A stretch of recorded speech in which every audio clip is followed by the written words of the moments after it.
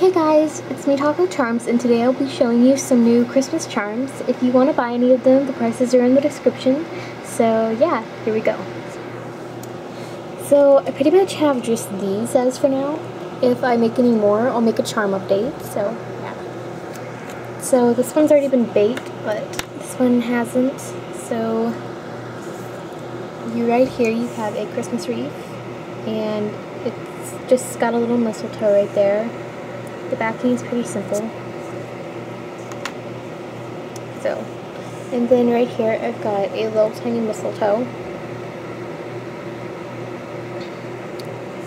And this one is a different kind of version of that, but this isn't baked yet, so we'll have to wait for that one. And then this is the last one that I have for now. It has a green heart, and it's just got Christmas colors on it. It's nothing special it has a little mistletoe there too. So, yeah.